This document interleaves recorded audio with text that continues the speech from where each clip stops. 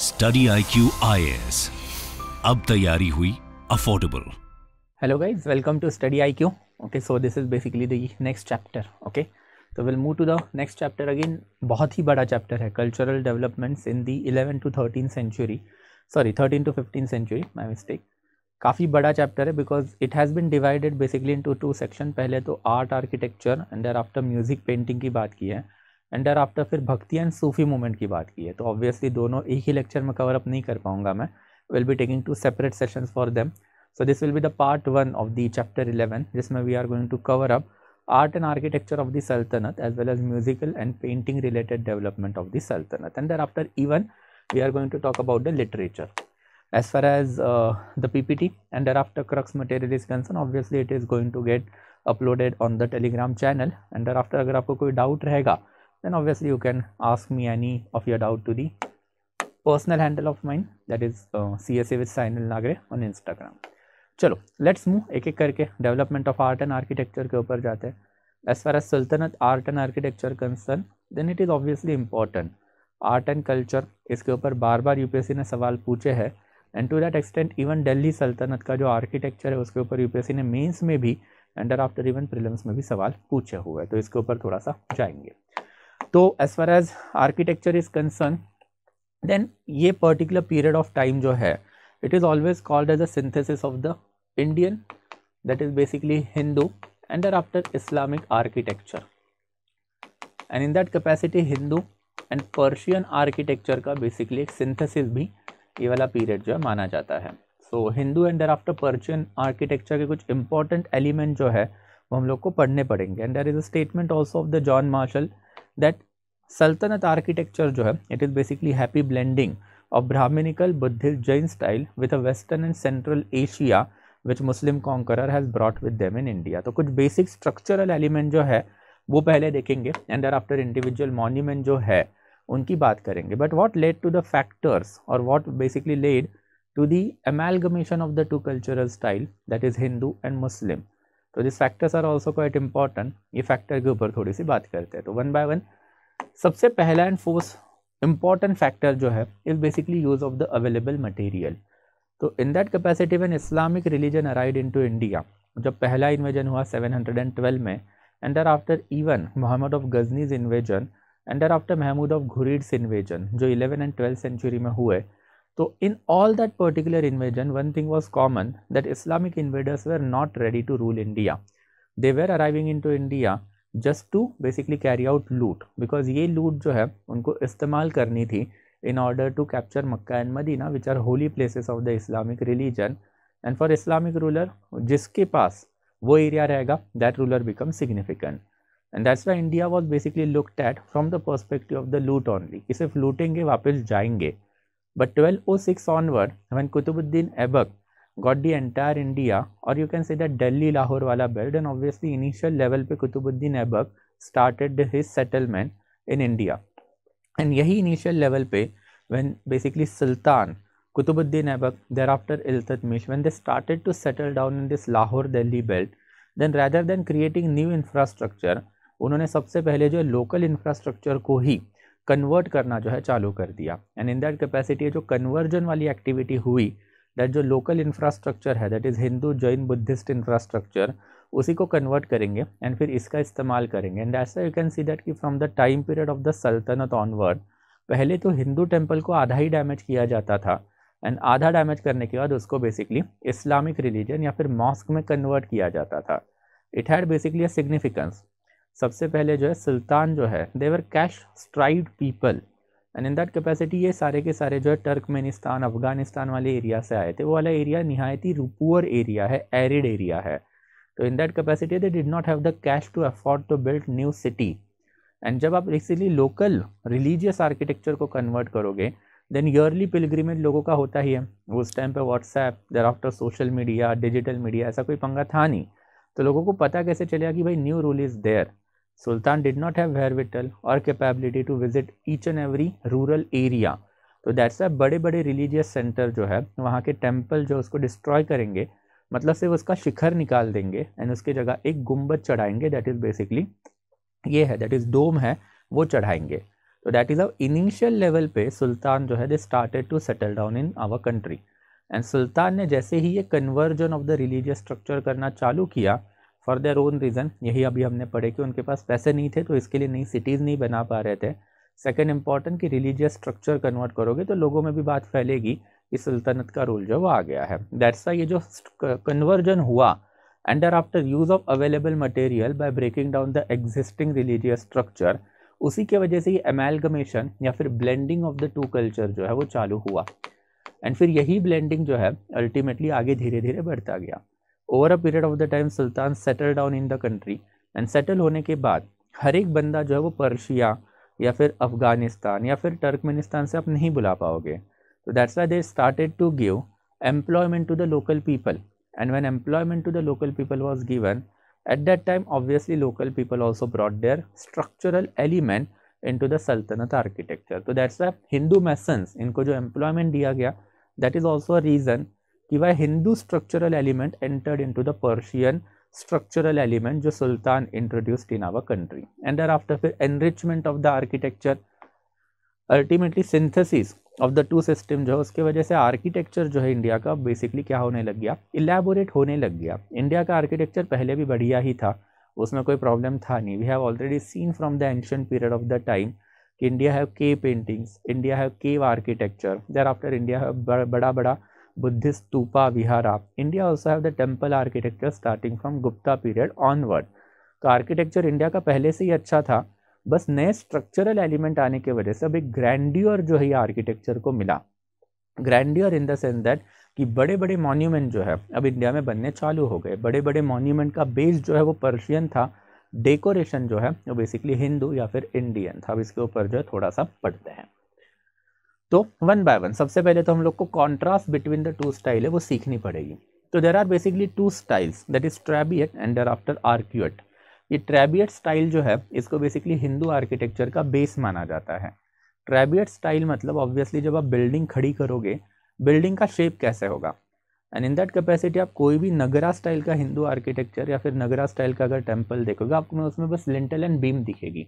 That is ये होता है बेसिकली लिंटल ये जो स्ट्रक्चर होता है ऑब्वियसली इसमें आप एक छोटा सा गेट बनाओगे यानी एंट्री बनाओगे। तो ये जो है बेसिकली स्ट्रक्चर इसको आप लिंटल बोलोगे starting from this this this and फिर इसके ऊपर आप बेसिकली जो है रूफ जो बनाओगे, ये होती है आपकी बिम तो इंडिया जो है उसमें हमेशा से लिंटल एंड बिम का स्ट्रक्चर जो है, वो चलता है।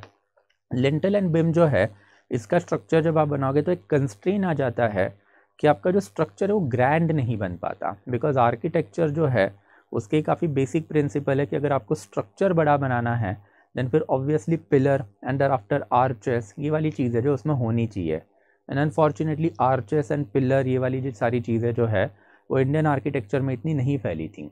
तो in that capacity lintel and beam वाला जो स्ट्रक्चर है, उसको आप बोलोगे स्ट्रेबियट स्टाइल जहाँ पे आर्क्यूएट स्टाइल जो आती है देन ऑब्वियसली आर्क्यूएट जो ये पर्शियन स्टाइल और इस्लामिक स्टाइल है, इसमें एक बेसिकली आर्च एंड ब्रिज होता है। तो ये arch enter after bridge very plain and simple term में, पहले तो आप एक बेस बनाओगे सिंपल ये आपने एक बेस जैसे ही बना लिया देर आफ्टर बेसिकली आप उसके ऊपर जो है, ये बेसिकली ऐसा वाला जो स्ट्रक्चर है दैट इज़ कर्व स्ट्रक्चर जो है, ये बनाओगे जिसको हाउंच बोला जाता है। ये हाउंचेस जैसे ही आप बनाओगे तो बीच में काफ़ी एक सिग्निफिकेंट स्ट्रक्चर आता है that is keystone keystone because ultimately ये पूरा स्ट्रक्चर जो है, उसका वेट यही पर्टिकुलर स्टोन पे आता है। तो ये जो keystone haunches and after basically जो बेस है, ये कीस्टोन हाउंचेस एंड बेस इसका जो बेसिकली आइडिया जो है, ये आर्क्यूएट स्टाइल में आया। एंड यही आर्क्यूएट स्टाइल जो है, जिसमें अल्टीमेटली आर्चेस बनना चालू हुआ तो उसकी वजह से हुआ क्या? जैसे ही आपने बेसिकली ये स्ट्रक्चर जो है, इसको स्ट्रेच करना चालू किया, आपका स्ट्रक्चरल सिंथेसिस जो है वो बिखर गया। तो दैट्स ये वाला जो स्ट्रक्चर जो है, आप बड़ा नहीं बना पाओगे right it will remain like this only जिससे जैसा आप इसको इतना बड़ा करते जाओगे देन इसकी स्ट्रक्चरल ब्यूटी स्ट्रक्चरल सिंथेसिस वो बिगड़ जाता है। बट आर्चेस एंड डोम जो है बेसिकली उसमें यही फ़ायदा होता है कि आर्चेस जहाँ पे आपने लगा दिए देन ऑब्वियसली आपने ये वाला ऊपर वाला जो स्ट्रक्चर है निकाल लिया तो आपने आपका जो स्ट्रक्चर है वो स्ट्रेच कर लिया तो ऊपर एक बड़ा वाला आप आर्च डालोगे तो उसकी वजह से वो ब्यूटी दर आफ्टर सिमेट्री ये जो है दोनों चीज़ें जो अच्छे से बन जाती है। तो trabeate and thereafter arcuate style now in detail और जाने की ज़रूरत नहीं है। नहीं समझ में आ गया तो छोड़ दो। बस एक लाइन में रखो कि ट्राइबियट जो है वो हिंदू है, जो लिंटल बीम पे चलता है, एंड आर्क्यूएट है वो पर्शियन मुस्लिम है, जो बेसिकली आर्चेस पे चलता है। एंड फिर ये जो दोनों है, ये अल्टीमेटली जो है कॉन्ट्रास्टिंग स्टाइल का सिंथेसिस जो है, वो हम लोग को सल्तनत के आर्किटेक्चर में दिखाई दिया है। एंड वो होगा भी क्यों नहीं होगा? बिकॉज़ इनिशियल लेवल पे इन्होंने हिंदू आर्किटेक्चर तोड़े, एंड उसी के ऊपर अल्टीमेटली गुंबद चढ़ाना चालू किया। पेक्यूलियर लेवल का आर्किटेक्चर जहाँ पे lintel beam and thereafter ultimately जो ये है आपका दैट इज़ गुंबद है, वो हमको दिखाई देना चालू हुआ। बट धीरे धीरे फिर अल्टीमेटली लिंटल बीम एंड गुंबद को छोड़ के true arches and true dome that is proper Persian architecture के एलिमेंट भी इंडिया में दिखाई दिए thereafter beauty versus simplicity Islamic religion ये एरिड रिलीजन का रिलीजन एरिड एरिया का रिलीजन माना जाता है। Arabian peninsula and thereafter Turkmenistan that is central Asia ये हमेशा से इस्लामिक रिलीजन का बेस रहा है, जो एरिड एरिया है। And that's the arid area में जब रिलीजन होगा देन ऑब्वियसली वो ज़्यादा पैसे वाला नहीं होगा एंड फिर वो ज़्यादा स्ट्रक्चरल या फिर ब्यूटी जो है उसके ऊपर फोकस नहीं करेगा। हुआ भी वही इस्लामिक रिलीजन है, उसमें हमेशा से ही simplicity purity and after austerity पे फोकस किया जाता है। तो ऑस्टियर मेजर जो है इस्लामिक रिलीजन के जो आते हैं, उसका रीज़न ही वही है कि ये रिलीजन बना अरेबिक लैंड में था। एंड डेट्स वाई इनके आर्किटेक्चर में भी ये चीज़ है कि दे आर क्वाइट सिंपल अगर आप आज के टाइम पे भी देखोगे तो इंडिया में across India multiple mosque are there but mosque के आउटसाइड में कोई ज़्यादा कैली ये जो है पेंटिंग या फिर डेकोरेशन आपको नहीं दिखाई देगा। एंड इवन आप मॉस्क के अंदर जब जाओगे, तभी भी कोई पेंटिंग या फिर डेकोरेटिव एलिमेंट जो है सच आपको नहीं दिखाई देते हैं। But on the other hand India का जो टेंपल आर्किटेक्चर हमने पहले देखा था, उसमें वी कैन क्लियरली सी कि आउटर वॉल जो है, उसमें भी सिग्निफिकेंट लेवल के जो स्कल्चरल डिज़ाइन इन्होंने बना के रखे थे एंड दर आफ्टर टेंपल के अंदर की वॉल पेंटिंग भी हमने देखी थी। तो जो ब्यूटी वाले एलिमेंट है वी कैन से दैट कि हिंदू आर्किटेक्चर में ज़्यादा होते हैं as compare to Islamic architecture Islamic architecture always focus upon spaciousness and simplicity तो ये भी बेसिकली दो कॉन्ट्रास्ट जो है, दोनों में रहा है। देर आफ्टर फिर darkness versus light as far as Hindu religion is concern and darkness is always focused upon darkness in the sense that कि इंडिया का जो टेंपल आर्किटेक्चर की अगर हम लोग बात करें, या फिर इवन इंडिया के जो बड़े बड़े पैलेसेस जो बचे हुए हैं, वो भी हमने देखे। तो जो पैलेसेस होंगे and there after even temple जो होंगे, उसका जो एकदम इनर सेंक्टोरम होता है, या फिर इंटीरियर होता है, हमेशा ही डार्कनेस से भरा हुआ रहता है। तो darkness is basically you can consider as a hallmark of the Hindu temple architecture and Hindu architecture and on the other hand जो इस्लामिक आर्किटेक्चर है, उसमें लाइट के ऊपर थोड़ा सा ज़्यादा फोकस होता है। तो ये जो लाइट जो है, आपको इस्लामिक आर्किटेक्चर में दिखाई देगी। Mosque are always open and thereafter जो जो इंटीरियर प्लेसेस है, वहाँ वहाँ पे ये विंडो के नाम पे जो है जाली सिस्टम लगाया करते थे। तो दिस इज़ बेसिकली जाली। यू कैन क्लियरली से जो जाली लगाते थे, ये जो विंडो है, ये सारी की सारी जाली सिस्टम वाली विंडो है, जिससे लाइट जो है वो स्ट्रक्चर के अंदर आए। And this is something again ये दोनों कॉन्ट्रास्टिंग स्टाइल थे। अगर आप प्रॉपर हिंदू टेंपल आर्किटेक्चर देखोगे तो एज सच आपको कोई विंडोज़ नज़र नहीं आएँगे बट मॉस्क आर्किटेक्चर है, उसमें ये jali system and after windows जो है वो आपको दिखाई देंगे। देर आफ्टर फिर level of decoration as I told you कि लेवल ऑफ़ डेकोरेशन ये हिंदू आर्किटेक्चर में ज़्यादा होता है इस्लामिक आर्किटेक्चर में कम होता है। एंड दर आफ्टर फिर geometric pattern as far as level of decoration Hindu architecture में ज़्यादा है देन इस्लामिक आर्किटेक्चर में जो आउटसाइड वाला जो एरिया होता है, वहाँ पे बेसिकली आपको जियोमेट्रिक पैटर्न जो है, वो ज़्यादा नज़र आएँगे। Take an example of the Qutub Minar अब ये जो कुतुब मीनार है, उसमें अगर आप देखोगे then you can clearly see over here कि इनके जो आउटर वॉल जो है, ये आर्किटेक्चर की, उसमें आपको बेसिकली सेमी सर्कुलर पिलर जो है, वो दिखाई देंगे।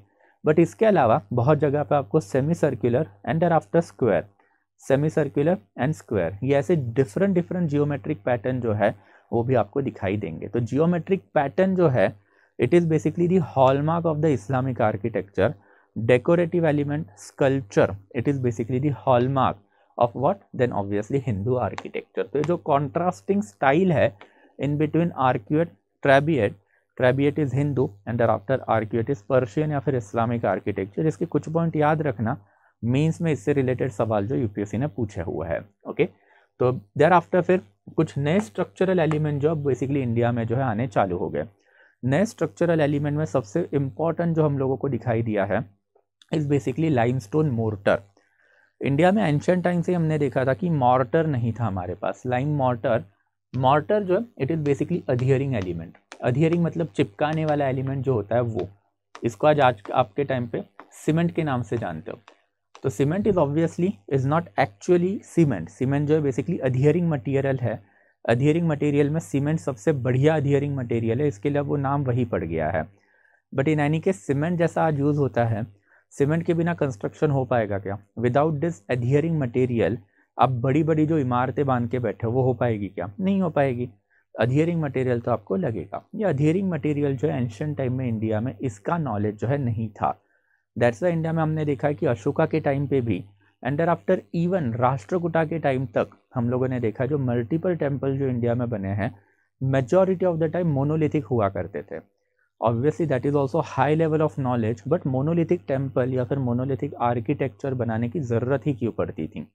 बिकॉज़ अधियरिंग मटेरियल इंडियंस को एज सच नहीं पता था।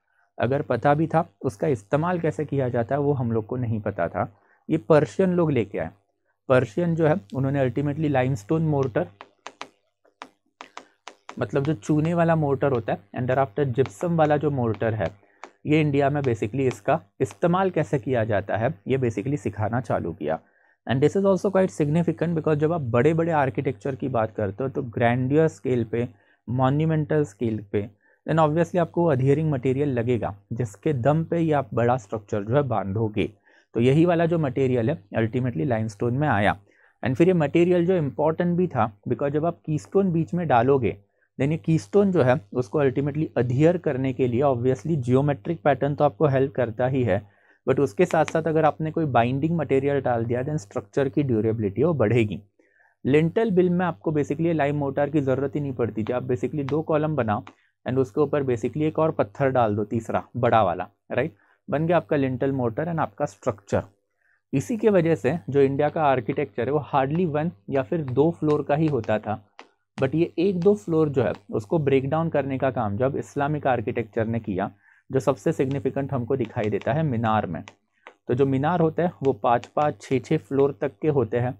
एंड फिर ये इतना बड़ा आर्किटेक्चर अगर आपको बनाना है देन ऑब्वियसली इतना बड़ा आर्किटेक्चर बनाने के लिए आपको ये मोर्टार लगेगा. ये सीमेंटिंग मटेरियल के बिना जो है आप ये मोर्टार के बिना, ये जो पूरा का पूरा बड़ा आर्किटेक्चर जो होता है, एक के ऊपर, एक के ऊपर, एक के ऊपर, एक फ्लोर लगाने वाला जो काम है, वो आप नहीं कर पाओगे। तो ये भी बेसिकली जो है, ये वेस्ट से इंडिया में आया हुआ है पर्शिया से अल्टीमेटली इंडिया में आया हुआ है। Arches again quite significant as I told you कि जो आर्चेस जो होते हैं, जैसे आपने आर्चेस बनाना सीख लिया देन फिर आपका जो स्ट्रक्चर जो है, जो पहले बस इतना ही था अब वो बेसिकली बड़ा होना जो है चालू हो जाएगा बिकॉज़ इसके ऊपर आप जो है बेसिकली सिमेट्री भी ला पाओगे एंड सिमेट्री लाने के बाद अल्टीमेटली इसके ऊपर जो है आप बिल्डिंग जो है वो भी अच्छे लेवल पे कर पाओगे।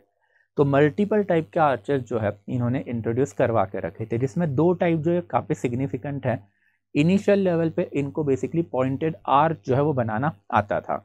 एंड ये पॉइंटेड आर्च हम लोग को दिल्ली सल्तनत के आर्किटेक्चर में दिखता भी है। तो जैसे for example this is a pointed arch का एग्ज़ाम्पल एंड ये पॉइंटेड आर्च के साथ साथ अल्टीमेटली इन्होंने लेटर स्केल पे जो है फोर सेंटर्ड आर्चेस बनाने सीख लिए। ये आर्चेस जब आप बनाओगे, यही आर्चेस जो है अल्टीमेटली आपके पूरे के पूरे स्ट्रक्चर को सिमेट्री देती है बिकॉज़ इसी के ऊपर अल्टीमेटली आप गुंबद चढ़ा सकते हो। You can clearly see over here कि जैसे ही आपने आर्च यहाँ पे बना लिया देन ये इंटीरियर लेवल का गुंबद का नीचे वाला पार्ट है, इसके ऊपर एक बड़ा गुंबद आपने चढ़ा दिया। एंड इससे अल्टीमेटली ग्रैंडियर लेवल का आर्किटेक्चर है वो बना। This is basically Buland Darwaza जो अकबर ने बाद में बनाया था। तो by the time period of the Mughals इन्होंने अल्टीमेटली फोर सेंटर्ड आर्चेस जो है as you can see over here इसके चार सेंटर होते हैं। तो यही फोर सेंटर्ड आर्चेस जो है, ये इन्होंने बनाना सीख लिए। बट इसके पहले जो है, सल्तनत के टाइम पर हम लोग को पॉइंटेड आर्चेस ही ज़्यादा दिखे हैं। एंड पॉइंटेड आर्चेस का वही प्रॉब्लम था, जो बेसिकली लिंटल बीम स्ट्रक्चर का था। कि पॉइंटेड आर्किटेक्चर में जैसे ही आपने ये वॉल उस तरफ़ खिसकाई, ये वॉल इस तरफ़ खिसकाई ये स्ट्रक्चर हो गया कोलैप्स तो पॉइंटेड आर्किटेक्चर में ट्रू आर्चेस नहीं बनते. ये ट्रू आर्चेस बेसिकली कंसिडर ही नहीं किया जाता. ट्रू आर्चेस जो है, ये बेसिकली आपको यहाँ पे दिखाई देंगे. This are basically the true arches आप इसको जितना ज़्यादा फैलाओगे तो उतना ज़्यादा बेसिकली पॉइंट जो है, आप बेसिकली फैला सकते हो. तो फोर सेंटर्ड आर्चेस की वजह से आपके स्ट्रक्चर का जो विर्थ है, वो बढ़ते जाएगा. तो this is something we can say that जो four centred arch and after pointed arch जो है ये इस्लामिक रूल ने ही इंडिया में इंट्रोड्यूस करवाया। एंड डर आफ्टर फिर इसी के वजह से डोम जो है, उसको हेल्प भी मिला। अब ये डोम स्ट्रक्चर आपको यहाँ पे थोड़ा सा समझ में आएगा कि ultimately there are two kind of the base एक होता है स्क्विंचेस एंड देर आफ्टर एक होता है पेंडेंटिव तो जो बेसिकली स्क्विंचेस जो होते हैं यू कैन क्लियरली सी ये थोड़े से type of the pointed arches वाले होते हैं। एंड फिर ये जो स्क्विंचेस जो होते हैं, उसमें प्रॉब्लम क्या होता है? ये लेंटल एंड बीम के स्ट्रक्चर जैसा मिलता हुआ स्ट्रक्चर है। इसके वजह से जो आप है बेसिकली बेस बड़ा नहीं कर पाओगे एंड आपका गुंबद भी ज़्यादा बड़ा नहीं हो पाता है। बट जैसे ही आपने पेंडेंटिव सीखा दैट इज़ एक ट्रू आर्च आपने बनाना सीखा तो ये ट्रू आर्च में अल्टीमेटली आपका क्या हुआ? देन आपका स्ट्रक्चर जो है उसको एक सिमेट्री आ गई। आपने बेसिकली एक सारों तरफ़ से ये आर्चेस बना लिए एंड फिर उसको स्ट्रक्चर को विड्थ वाइज जो है थोड़ा सा बड़ा कर दिया। एंड स्ट्रक्चर को वेड वाइज थोड़ा सा जैसे ही आपने बड़ा किया बड़े बड़े लेवल के जो प्रॉपर गुंबद या फिर डोम जो है, ये आपने बनाने जो है चालू कर लिए तो this is something that you can say that कि आर्चेस का कमाल। जैसे ही आपके कंट्री में आर्चेस आए तो आपके कंट्री में आर्चेस की वजह से आपका जो स्ट्रक्चर है, उसका विर्थ बढ़ा एंड एक ग्रैंड्यूअर आर्किटेक्चर जो है, वो आपकी कंट्री में आया।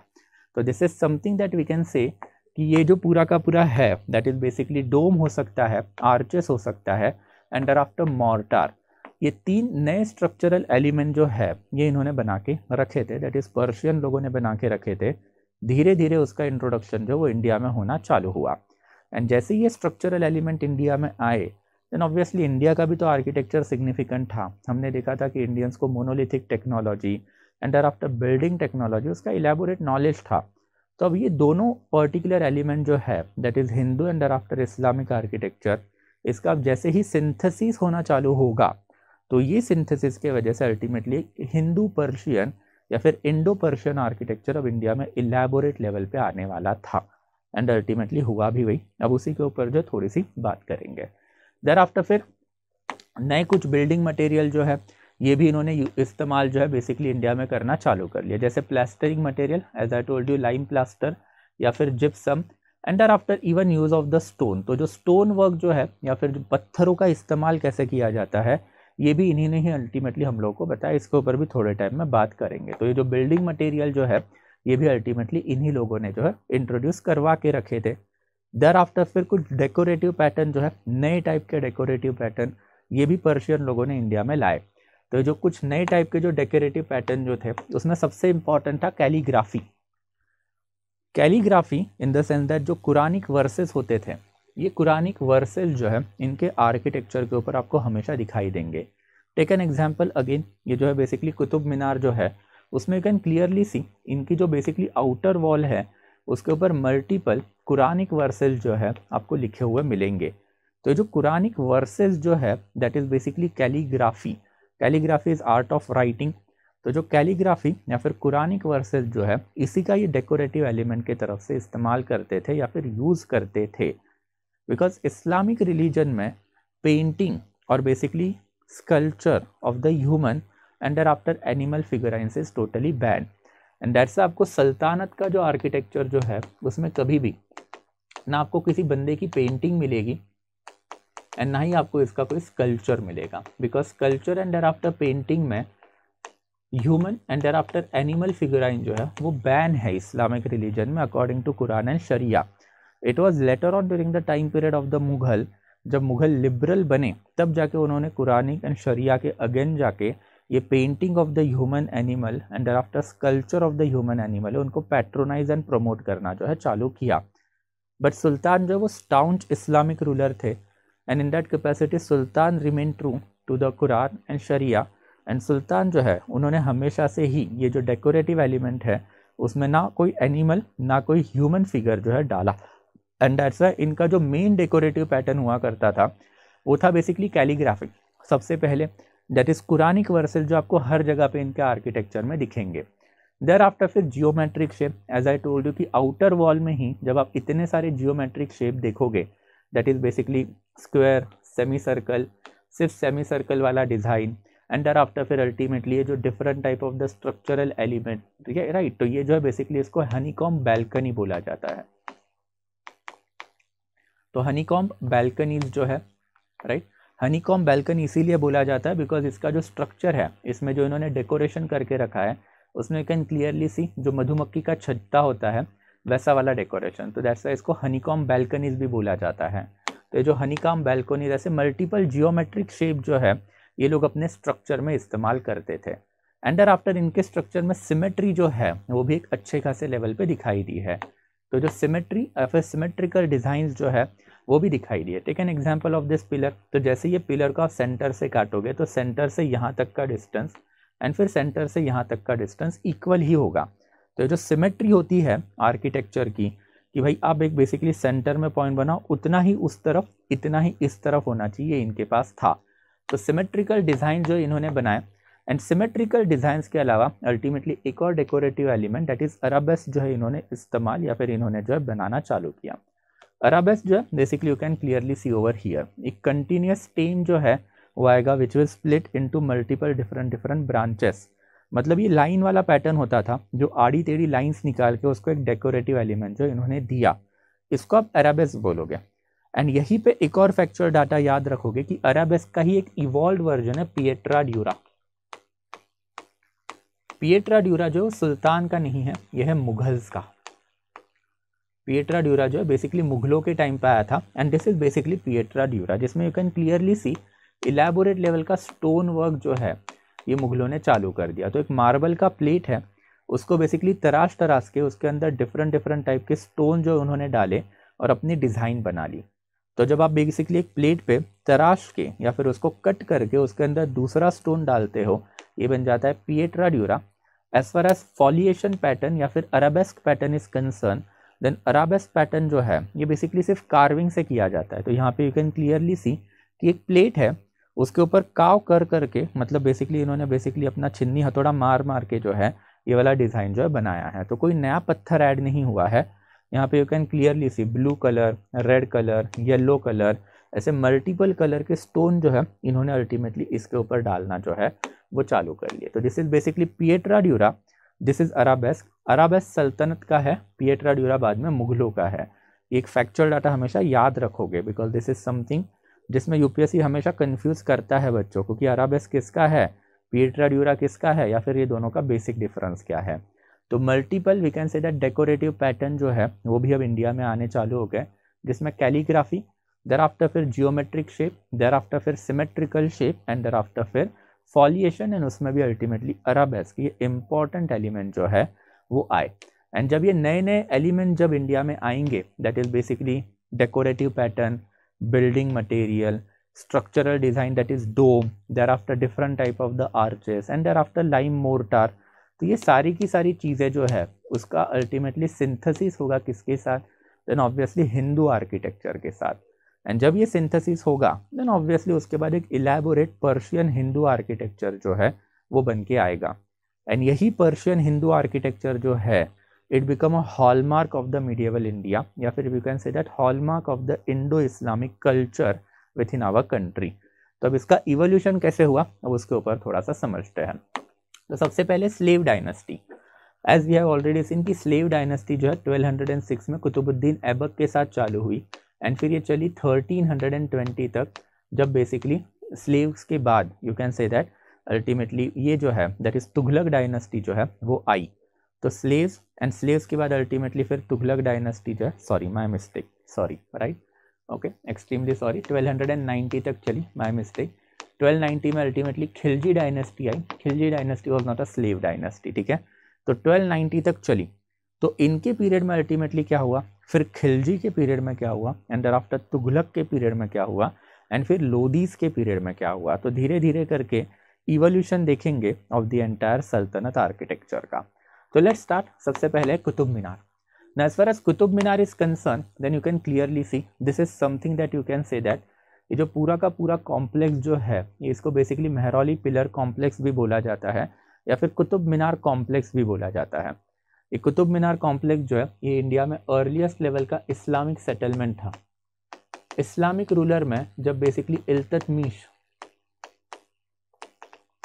1200 नाइन इलेवन या फिर ट्वेल्व हंड्रेड एंड ट्वेल्व के अराउंड जब उसने अल्टीमेटली बगावत कर दी अगेंस्ट आरम शाह एंड अपना खुद का राजपाट एस्टेब्लिश किया इन दिल्ली तो इट वॉज़ कंसिडर कि इसी के अराउंड जो है, कहीं ना कहीं पे तो रहते रहेंगे।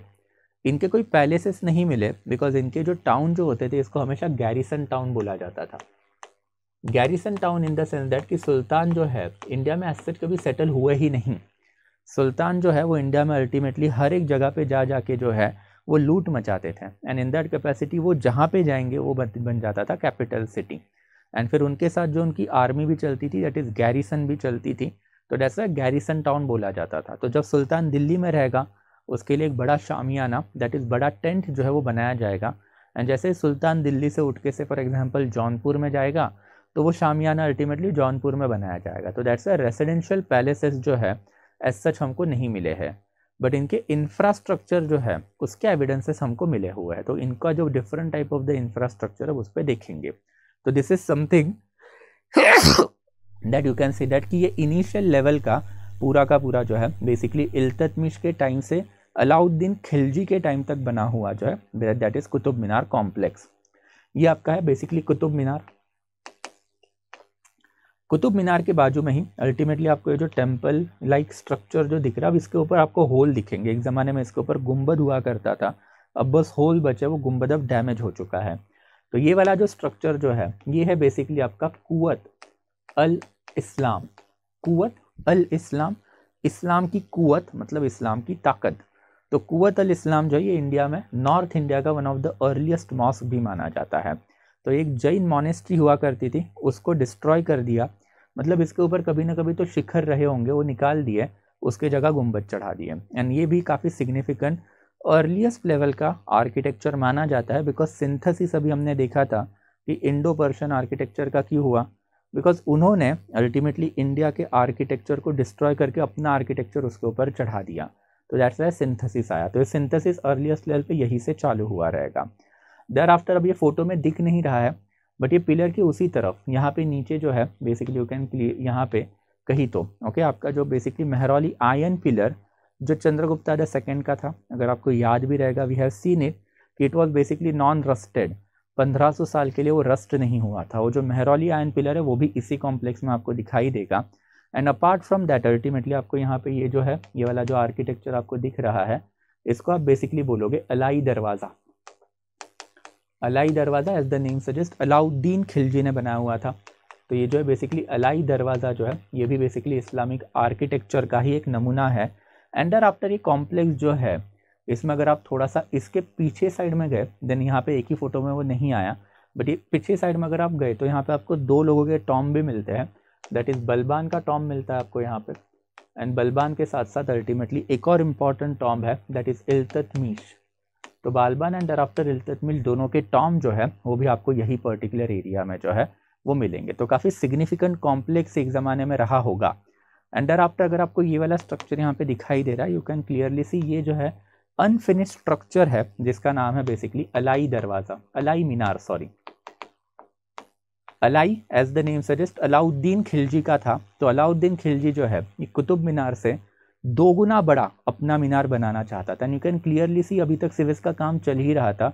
बट इसका जो बेसिकली कॉम्प्लेक्स है या फिर इसका जो घेरा है बड़ा, वो इतना सिग्निफिकेंट है as compare to this one ये काफ़ी छोटा लगता है as compare to this one अगर ये एक्चुअल में बन जाता देन ऑब्वियसली इससे ऑलमोस्ट डबल हाइट का बनता। But unfortunately for Alauddin Khilji he died after laying the foundation तो उसके बाद लेटर सुल्तान जो है, उन्होंने इसको कभी भी कंप्लीट जो है, वो नहीं करवाया। And this is basically you can say earliest level का Islamic settlement pattern in our country और इसी में सारे के सारे आर्किटेक्चरल एलिमेंट जो है, वो हमको दिखते हैं। अब एक एक करके इन सब के ऊपर बात करेंगे। सबसे पहले let start with Qutub Minar as far as this Qutub Minar is concern कुछ फैक्चुअल डाटा याद रखो। ये कुतुब मीनार जो बनाने का काम जो है, चालू किसने किया था? Qutubuddin Aibak.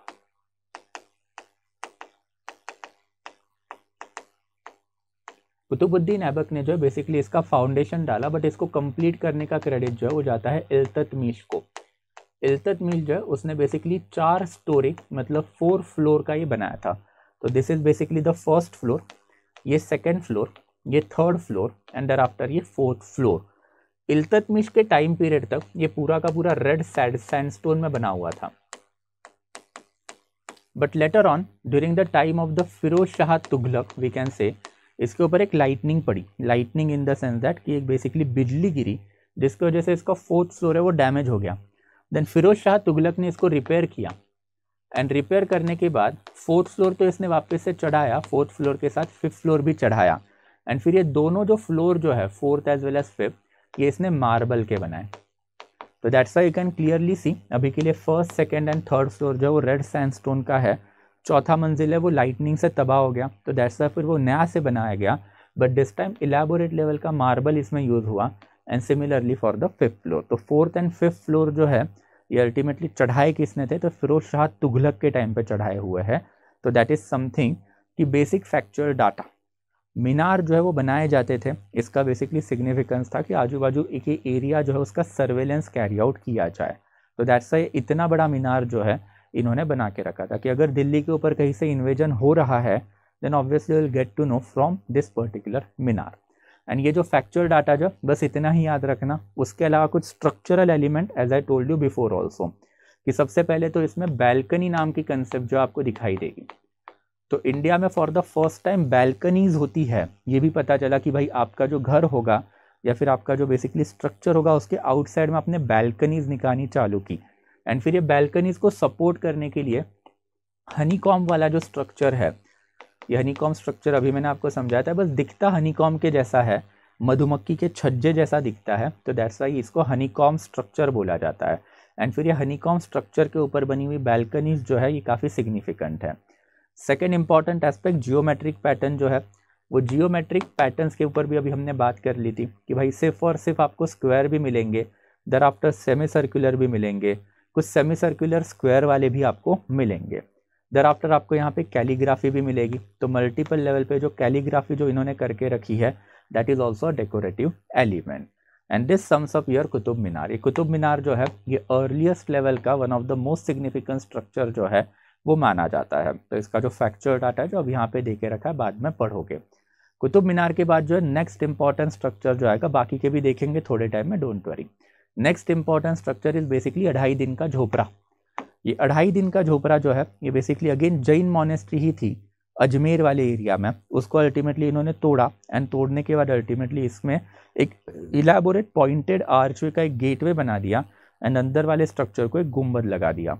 And that is ultimately even in Ajmer वाले एरिया में वी कैन सी दैट कि ये जो कल्चरल एमेलगमेशन जो है, वो अल्टीमेटली हुआ।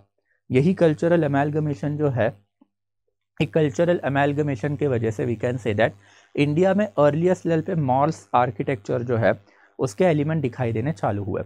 मॉस्क आर्किटेक्चर में कुछ इंपॉर्टेंट चीज़ें होती है। सबसे पहले एक archway and thereafter dome shape structure होता है। देर आफ्टर आपको मॉस्क में हमेशा मीनार दिखाई ही देंगे। एंड देर आफ्टर जो सबसे इंपॉर्टेंट होता है दैट इज़ मेहराब ये तीन जो है मॉस्क आर्किटेक्चर के बेस होते हैं। तो कोई भी आप मॉस्क देख लेना, आपको बेसिकली तीन चीज़ें जो यहाँ पे दिखाई देंगी ही देंगी। तो एक arch dome and there after मेहराब ये मेहराब जो होता है, ये ये वाला ऐसा दरवाज़ा होता है। मेहराब जो है हमेशा मार्बल का बना हुआ ही रहेगा most of the time and ये मार्बल का बना हुआ जो मेहराब है it basically shows direction towards Mecca. India basically काफ़ी ईस्टर्न साइड में तो हमारी मक्का जो है वो बेसिकली वेस्टर्न साइड में पड़ता है। तो इंडिया में जहाँ जहाँ पे आपको मॉस्क दिखेगा वो मॉस्क में आपको ये बेसिकली मेहराब दिखाई देगा। ये डायरेक्शन शो करता है टूवर्ड्स मक्का। तो आप ये मॉस्क में जाते हो नमाज़ पढ़ने के लिए तो that's a mask of mosque जो है वो काफ़ी ओपन होते हैं।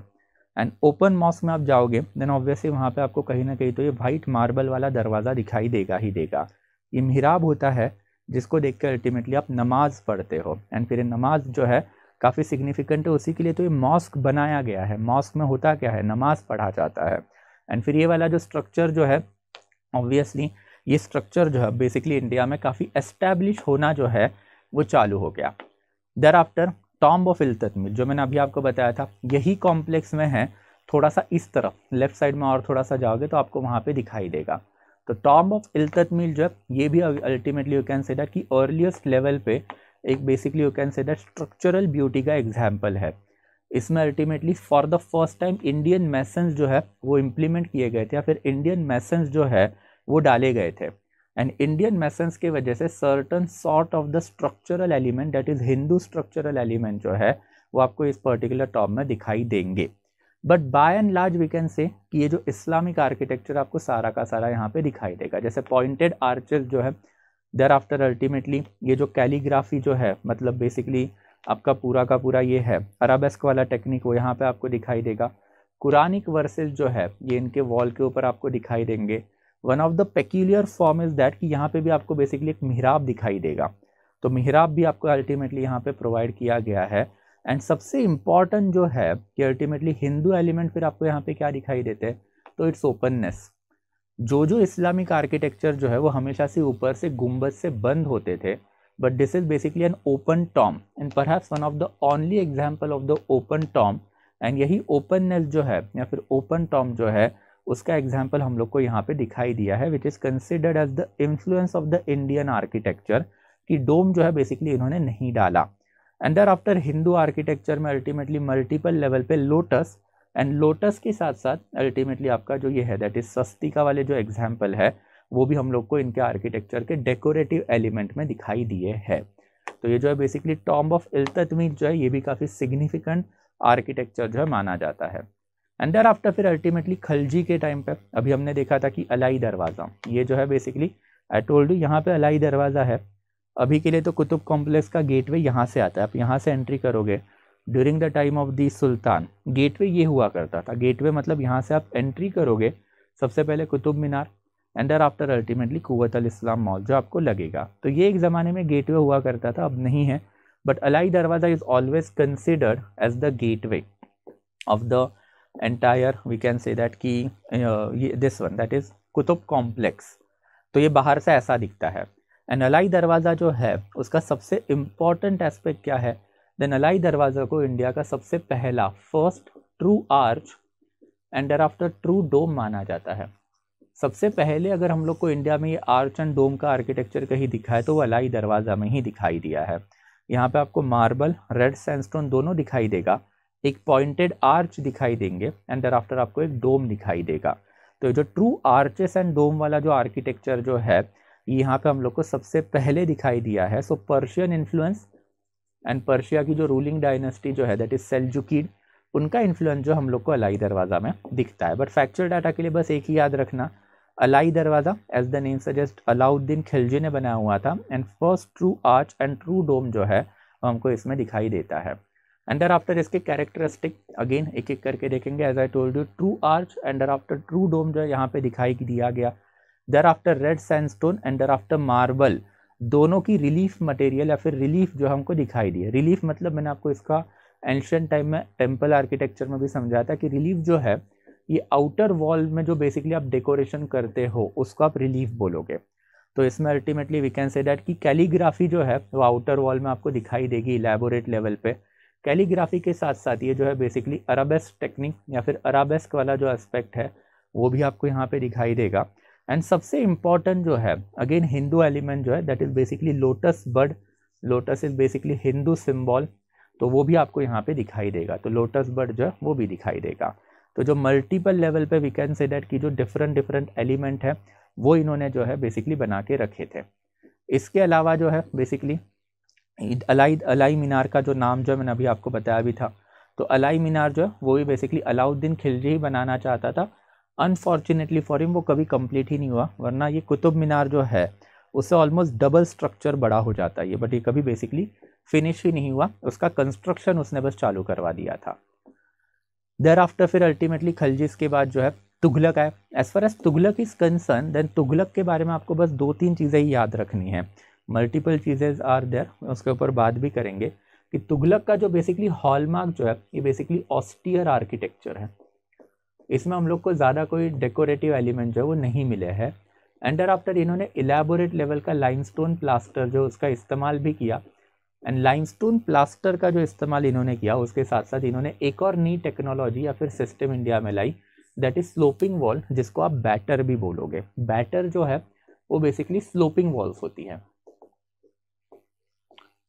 ये सारी चीज़ें जो है अल्टीमेटली तुगलक को ही एट्रीब्यूट की जाती है इन आवर कंट्री तो सबसे पहले जो है स्टोन रबल जो है is the principal building material ये स्टोन रबल मतलब स्टोन के छोटे छोटे टुकड़े उठाते थे उसको लाइमस्टोन प्लास्टर में डालते थे और उसी से आर्किटेक्चर जो अपना बना देते थे। तो ये जो स्टोन रबल जो है और उसके ऊपर प्लास्टर जो है, ये इन्होंने लगाना जो है चालू कर लिया। Thereafter emergence of the pointed dome जो है प्रॉपर ये भी इंडिया में आने चालू हो गए। इनके टॉम में सबसे पहले हम लोग को ऑक्टागोनल प्लान जो है, वो दिखाई दिया है। And thereafter additional feature is basically reduce ornament as I told you इनका आर्किटेक्चर वो ऑस्टियर हुआ करता था। तो रिड्यूस आर्नामेंट जो है, वो हम लोग को दिखाई दिया है। तो this is something for the Tughlaq. तो ये तुगलक का जो दो टॉम्ब है, ये जो है बेसिकली मोहम्मद बिन तुगलक का टॉम्ब है, ये फिरोज शाह तुगलक का टॉम्ब है। ये दोनों के आर्किटेक्चर में आपको कुछ कुछ एलिमेंट जो है दिखाई देंगे।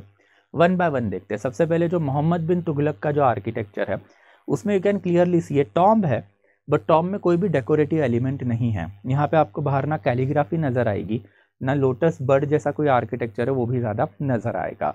तो ना कैलीग्राफी है, ना कोई ज़्यादा डेकोरेशन है। तो ऑस्टियर लेवल का आर्किटेक्चर जो इनका माना जाता है। सेकेंड इंपॉर्टेंट थिंग यहीं पे आपको बेसिकली बैटर भी नज़र आएगा।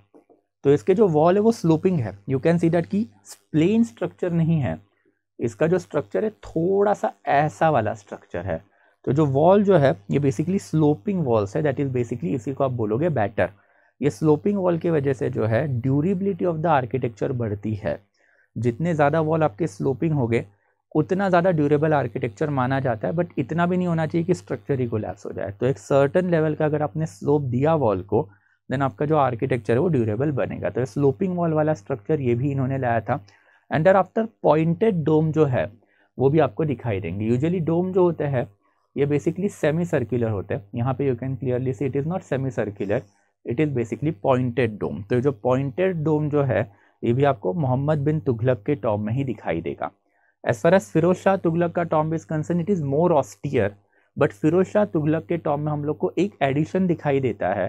That addition is basically octagonal structure ये जो है बेसिकली स्क्वायर प्लान है. चार दीवार है. एक इधर है, एक इधर है, एक पीछे वाले साइड एक उधर साइड तो ये स्क्वायर प्लान होता है.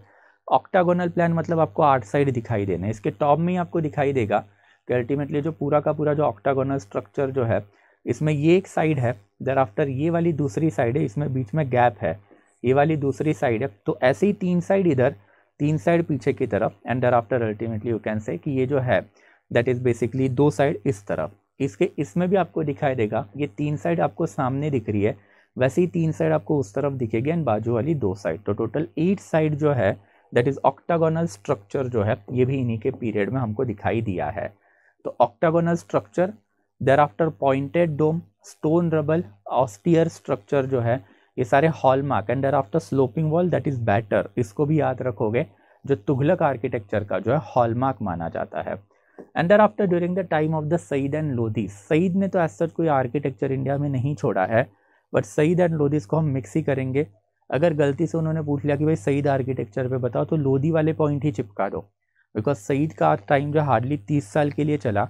एंड सईद के लिए ही ये लोधीस काम करते थे। एंड दर आफ्टर लोधीस ने अपनी इंडिपेंडेंट किंगडम जो है वो निकाली। तो that's a Sayyid and Lodis के टाइम पे देखेंगे तो इनका जो आर्किटेक्चर जो है, इसको दो टाइप में डिवाइड किया जाता है, कि एक octagonal and thereafter square and फिर अब इंडिया में जो है ट्रू ऑक्टागोनल शेप या फिर ट्रू ऑक्टागोनल आर्किटेक्चर जो है, वो हम लोग को दिखाई देने चालू हो गए। तो सबसे पहले जो ऑक्टागोनल टाइप जो वो देखेंगे, कि इसमें अल्टीमेटली क्या होता है मेन टॉम चैम्बर जो है, उसमें आपको आर्च वरांडा दिखाई देंगे। देर आफ्टर इसमें आपको एक स्टोरी हाई मतलब कम से कम एक मंजिल ऊपर आपको दिखाई देगी। एंड देर आफ्टर वरांडा जो है, उसमें आपको ईव्स दिखाई देंगे। ये तीनों के ऊपर बात करेंगे। तो take an example of this particular tomb ये सिकंदर लोधी की टॉम है। एंड ये जो सिकंदर लोधी की जो टॉम है, ये आपको दिल्ली में ही मिलेगी, मुगल गार्डन्स में सॉरी लोधी गार्डन्स में। तो यहाँ पे अब आपको क्लियरली ऑक्टोगोनल प्लान दिखाई देगा, सबसे पहले राइट यहाँ पे यू कैन क्लियरली सी ये एक साइड है, ये एक साइड है, ये एक साइड है। ऐसे ही तीन साइड बाजू वाले इसमें एंड डर आफ्टर बाजू वाले दो साइड तो जैसे टोटल ऑक्टोगोनल टॉम जो है, ये आपको दिखाई देगा।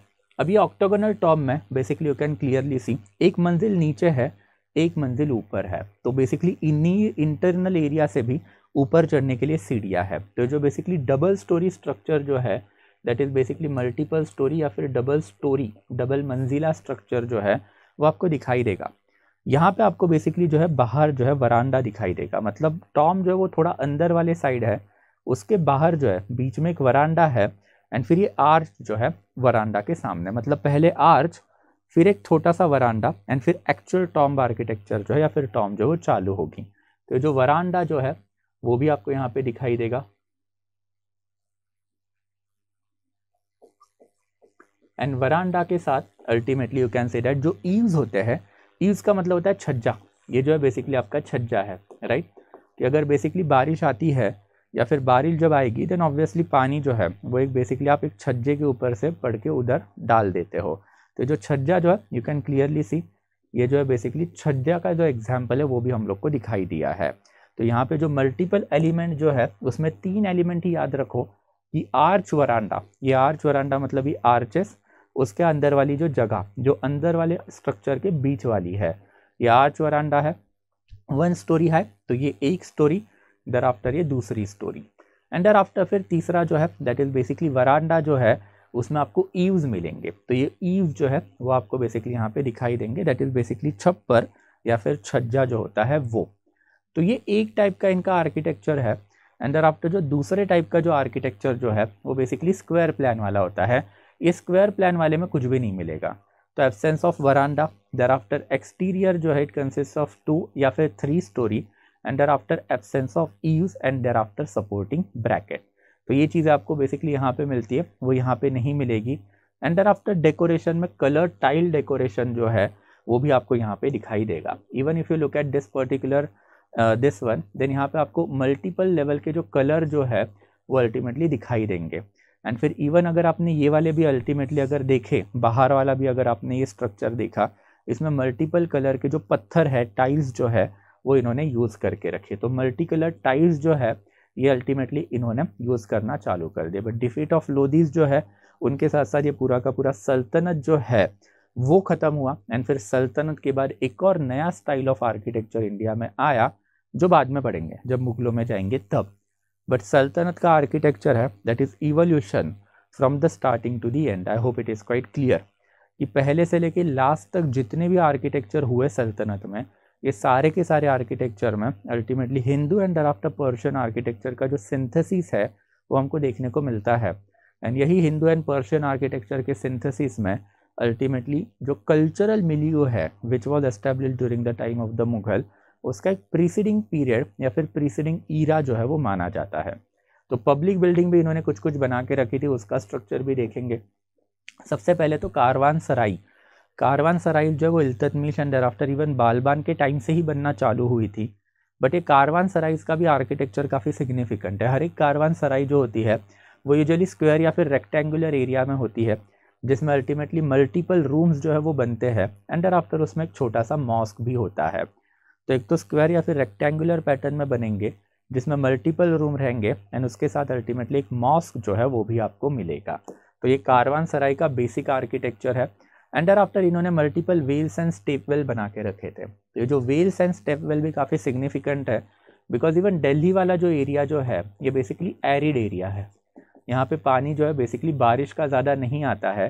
तो दैट्स आपको वेल्स बना के रखने पड़ेंगे। ये वेल्स को आप एक तो रिवर से कनेक्ट करो या फिर जितना भी बारिश का पानी आता है, वो इसमें जमा करो। तो दैट्स वाई वेल जो आपने बना के रखे हैं, जिसमें अर्लीस्ट लेवल पे इल्ततमिश ने गंधक की बाउली एंड हौज शमशी बनाया था। दैट इज़ बेसिकली योर हौज शमशी, वहाँ पे जो आपको दिखाई दे रहा है। एंड फिर अलाउद्दीन खिलजी के टाइम पे हौज खास बना था। This is basically your Hauz खास।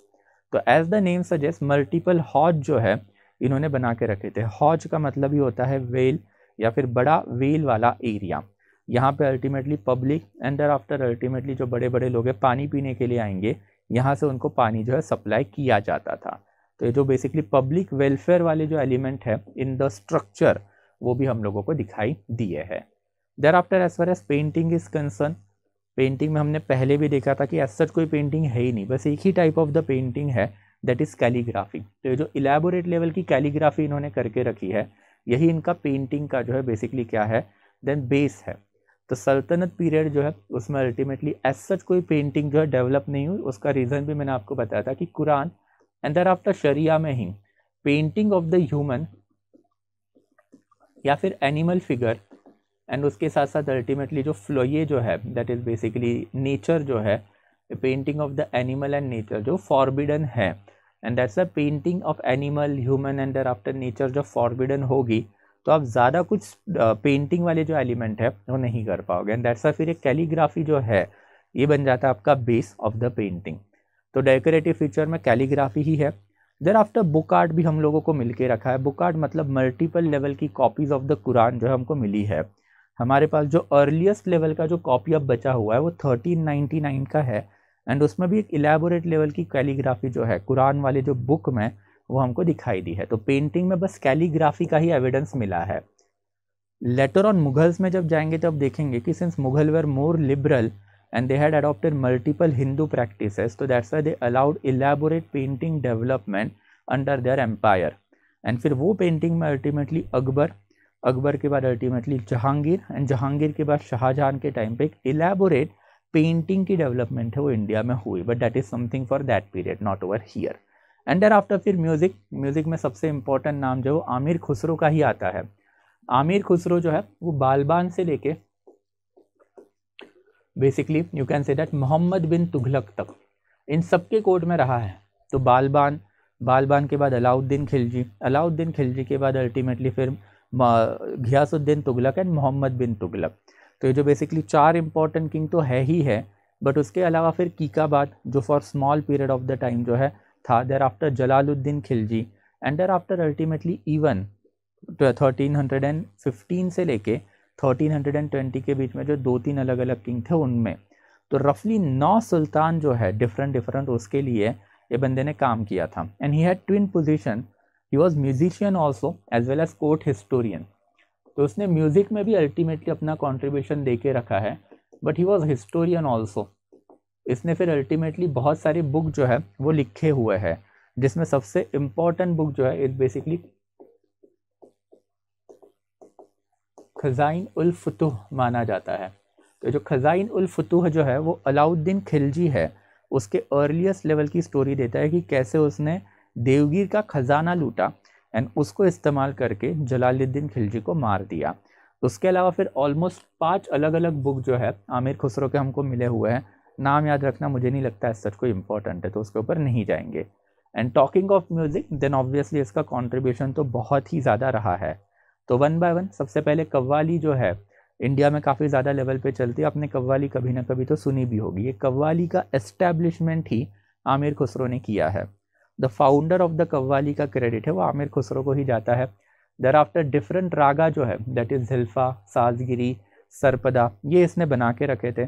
राग जो है बेसिकली आपको पता ही है कि ट्रेडिशनल हिंदू म्यूज़िक में या फिर ट्रेडिशनल इंडियन म्यूज़िक में वी कैन से दैट कि एक लॉन्ग लेवल का जो म्यूज़िक होता है, उसको आप मल्टीपल रागाज में डिवाइड करते हो। देर आफ्टर ख्याल जो है, इसको अबाउट ये जो है बेसिकली चालू किया एंड फिर अल्टीमेटली ध्रुपद जो old style of the music जो थी, उसको बंद कर दिया। डिफरेंस मुझे भी आज सच इन दोनों में कभी समझ ही नहीं आया तो बस फैक्चुअल डाटा के लिए याद रखो और डिटेल जाने की ज़रूरत नहीं है। नए नए म्यूज़िकल इंस्ट्रूमेंट इसने बनाए। जिसमें सबसे इंपॉर्टेंट था सितार एंड आफ्टर तबला। सितार तो उसका खुद का इन्वेंशन है but apart from that tabla जो है, ये भी बेसिकली इसी को एट्रीब्यूट किया जाता है। एंड आफ्टर ऑब्वियसली इसने जो अल्टीमेटली जो चेंजेस इंट्रोड्यूस किए, उसका फार रेंजिंग इम्पैक्ट जो इंडिया पे पड़ा। It was allowed Amir Khusro जिसने अर्लीस्ट लेवल पे पंजाबी जो है, उसको डेवलप किया। इट वॉज़ आमिर खुसरो जिसने अर्लीस्ट लेवल पे हिंदवी लैंग्वेज जो है वो डेवलप की। यही हिंदवी से अल्टीमेटली एक Urdu language I and thereafter ultimately Hindi language I. And that's Urdu and Hindi में एज सच आपको कभी डिफरेंस जो है वो पता चलेगा भी नहीं। Urdu and Hindi by and last same है, दोनों अल्टीमेटली पर्शियनाइज्ड वर्जन वाले लैंग्वेजेस है। And in that capacity it was Amir Khusrau जिसके टाइम पे दोनों लैंग्वेज जो इनिशियल लेवल पे आए। एंड आफ्टर एक और चीज़ याद रखना कि ये basically masnavi style of writing जो है ये इसने अडॉप्ट करके रखी थी। Masnavi style of the writing मतलब जैसे आपके कपलेट कैसे होते कि दो लाइन वाली राइटिंग होती है, इसकी चार लाइन वाली राइटिंग होती थी।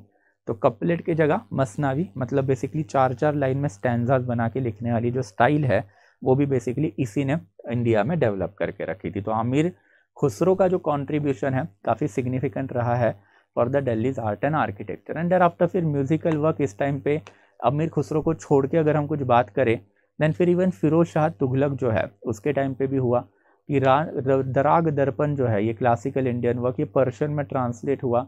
राजा मानसिंह ऑफ़ ग्वालियर जो है, उसने एक मान कुतूहल नाम का एक बेसिकली बुक लिखा था।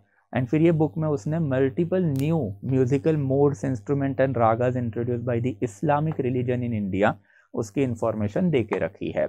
एंड आफ्टर फिर language and literature now language and literature में नहीं जाऊँगा, ये सारा फैक्चुअल डाटा है। तो ये जो तीन चार स्लाइड है कि संस्कृतिक लैंग्वेज देर आफ्टर फिर ultimately Persian text in Sanskritic language Arabic literature as such and thereafter proper Persian literature and उसमें Amir Khusro and there after Amir Khusro की राइटिंग के ऊपर, जो मैंने अभी आपको बताया था, उसका थोड़ा सा फैक्चुअल डाटा तो ये सारी चीज़ें जो है एंडर आफ्टर रीजनल लैंग्वेज ये सारी चीज़ें आप आपके खुद पे लेवल पे करोगे। फैक्चुअल डाटा इसमें कोई पढ़ाने वाली ज़रूरत मुझे नहीं लगती है एंड यूपीएससी ने एक सवाल पूछा भी है कि development of the Persian literature in twelfth thirteen century तो यहाँ से आपको चार पाँच पॉइंट मिल जाएँगे बट वो सारे फैक्चुअल है, उसमें कोई पढ़ाने वाली चीज़ है नहीं तो you do it on your own तो that will be it right for आज के लिए.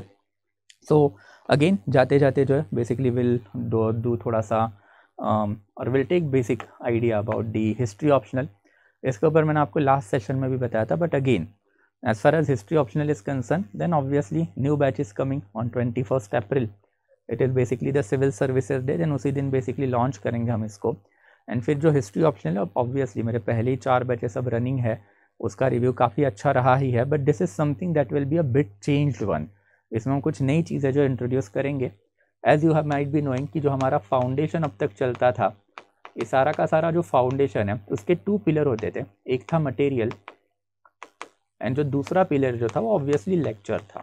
तो लेक्चर्स ऑब्वियसली काफ़ी इलेबोरेट लेवल पे I have taken ancient medieval there after modern India and there after modern world रफली thirty five to forty lecture जो है now I have covered for each and every section जिसमें अब elaborately हर एक topic जो है, वो हम लोगों ने डिस्कस कर लिया including multiple P Y Qs also there after material जो I am providing you of three type सबसे पहले crux material it is always a soul of the program crux material मैंने आपको पहले भी बोला था कि अगर आपने मेरा क्रक्स मटेरियल कर लिया, फिर आपको बाकी की सारी रेफरेंस बुक जो है हिस्ट्री ऑप्शनल में करने की कोई ज़रूरत नहीं पड़ने वाली है। तो क्रक्स मटेरियल जो काफ़ी सिग्निफिकेंट है, इसके रिव्यूज़ भी अभी काफ़ी अच्छे आ चुके हैं अब तक। एंड ऑब्वियसली इसको over a period of the time जो है हम और रेक्टिफाई और बढ़िया तो बनाएँगे ही बनाएँगे। क्रक्स के साथ साथ फिर अल्टीमेटली पीपीटी एंड आफ्टर जो हैंड रिटर्न नोट्स है वो भी।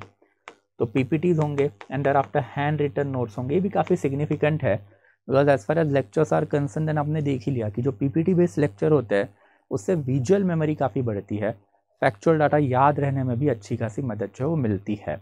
And there after handwritten notes भी काफ़ी सिग्निफिकेंट है because this are shorter version of my lecture जब लेक्चर मेरे चलते रहते हैं देन ऑब्वियसली उसमें हैंड रिटर्न नोट्स जो है, वो बनते रहते हैं।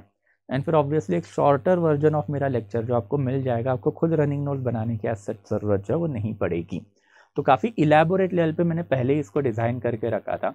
Now we are going to add one more thing into it that is basically test series obviously test series जो है, अभी तक हम लोगों ने नहीं लॉन्च की थी but we are going to launch it from the twenty June and फिर ये जो टेस्ट सीरीज़ जो है since if you take the enrolment into this bell then it will be open to you for a elaborate period of the time आप जब चाहे तब test दे सकते हो, उसमें कोई प्रॉब्लम नहीं है। बट ये जो टेस्ट सीरीज़ जो है, उसमें टोटल ट्वेल्व टेस्ट रहेंगे, जिसमें एट सेक्शनल टेस्ट है and there after basically four full length test है। एट सेक्शनल टेस्ट मतलब बेसिकली दो दो दो दो पकड़ के चलो। Ancient medieval modern India and there after modern world के लिए। बट सेक्शनल का मतलब ये मत समझना कि सर इसमें क्वेश्चन कम रहेंगे no it will be like a full length test only आठ क्वेश्चन जो आपको नॉर्मली आते हैं ऑप्शनल के पेपर में, इनमें भी आपको आठों के आठों क्वेश्चन मिलेंगे। एंड हर एक आठ क्वेश्चन जो है बेसिकली हर एक क्वेश्चन ये जो है पेपर है, वो बेसिकली सब्जेक्ट स्पेसिफिक रहेगा सेक्शनल में। जैसे से फॉर एग्जांपल अगर मैं दो एंशेंट की बात करूँ तो मैं उसको ब्रेक डाउन करूँगा। एक सेक्शनल टेस्ट जो है, वो आपका प्री हिस्टोरिक पीरियड से लेके मौर्यन तक रहेगा। दूसरा जो है मौर्यन से लेके पोस्ट गुप्ता तक रहेगा। तो ये जो बेसिकली दो पेपर रहेंगे, उसमें आपको आठ आठ क्वेश्चन ही मिलेंगे and it will be like a full length paper only तो इसको हाफ़ लेंथ मत समझना it will be a full length only but ये सेक्शनल रहेंगे. And there after obviously four full length मतलब आपका एक बेसिकली ऑप्शनल पेपर वन होता है एंड एक ऑप्शनल पेपर टू होता है. तो इसके दो एंड दर आफ्टर इसके दो जो है, हम लोग सिमुलेटेड टेस्ट जो है वो करवाएँगे. तो इसके वजह से होगा क्या कि पहले ही जो हम लोगों ने इतनी मेहनत करके जो फाउंडेशन बना के रखा है उसमें जो थोड़ा सा बैकड्रॉ वाला जो मिसिंग लिंक था that is optional test series वाला अब वो भी फिलअप हो गया है। एंड ये सारी चीज़ें जो है since the sale is going on we are offering you at a very discounted rate if you use my coupon ये सेल जो है ऑब्वियसली कित कब तक चलेगा? ट्वेंटी फ़र्स्ट अप्रैल तक ही चलेगा एटीन अप्रैल से। सो so, एटीन से लेके ट्वेंटी फ़र्स्ट अप्रैल के बीच में ही ये सेल जो है वो वैलिड है। So if you are from the history optional या फिर आपका कोई भी दोस्त अगर हिस्ट्री ऑप्शनल से रहेगा then do spread the word because ultimately बहुत सारी चीज़ें जो है at a very affordable rate with a quality we are providing and obviously मैंने आपको पहले भी बताया है, अब मार्कशीट बहुत लेक्चर्स में दिखा भी चुका हूँ कि I have myself score three hundred plus in history optional so I have elaborate idea कि कैसे करना रहता है, क्या करना रहता है, क्या चीज़ें अवॉइड करनी रहती हैं किस पे ज़्यादा फोकस करना रहता है in order to achieve this much amount of the marks तो this is something for the history optional तो दैट विल बी इट तो ट्वेंटी फ़र्स्ट से बैच जो है चालू हो रहा है एज यूजल पहले दस दिन जो है I am going to take alternate days के लेक्चर मेरे पास जो है बेसिकली हमेशा से ही ओरिएंटेशन सेशन चलते हैं. उसके बिना ऑप्शनल का बेस बनाना काफ़ी मुश्किल हो जाता है. तो पहले पाँच ओरिएंटेशन सेशन एंड रफली फिर एक में ऑनवर्ड जो है रेगुलर सेशन जो हमारे चालू होंगे. बट दिस इज़ समथिंग अगर आप हिस्ट्री ऑप्शनल से हो then obviously take benefit of it अगर आप नहीं हो then do spread the word for me okay तो that will be it guys again जाते जाते ओके दिस पीपीटी जो है I am going to upload मैंने एंशंट इंडिया की नहीं करने वाला था। मैंने नहीं की थी बेसिकली इसकी भी मैं नहीं करने वाला था बट अब हार्डली एक दो महीने ही बचे हैं। ज़्यादा टाइम आपको लेक्चर रिवाइज करने के लिए मिलेगा नहीं तो that's I am basically uploading this PPT वरना मेरी ऑप्शनल की ही पीपीटी है। उसी का एक कर्टेल्ड वर्जन है। ऑप्शनल में तो थोड़ा सा इलेबोरेटली पढ़ते हैं हम लोग। बट ये थोड़ा सा curtailed version of the optional PPT है। तो इसको थोड़ा सा देख लोगे। तो I am going to upload it on this Telegram channel and अगर आपको कोई डाउट रहेगा then do feel free to ask me it on my Instagram channel okay so that will be it guys आज के लिए फिर रोकते हैं। Again we are going to move to the part two now तो part two जो है basically वो खत्म होने के बाद जो है chapter number twelve will be covered and finally ये जो पूरा का पूरा फिफ्टीन सेंचुरी तक का जो पीरियड है, अब वो भी ख़त्म हो जाएगा। तो अब बस एक माइनर पीरियड बचा है but from the perspective of the examination काफ़ी crucial period that is Mughal. And मुगलों के बाद अल्टीमेटली पोस्ट मुगल पीरियड जिसमें मराठा एंड अहोम्स आते हैं। तो अब ये बेसिकली तीन सेक्शन जो है, वो भी इसी हफ़्ते में I am going to cover it up okay चलो guys thank you so much I be stopping the section now thank you guys study I Q I A S तैयारी हुई अफोर्डेबल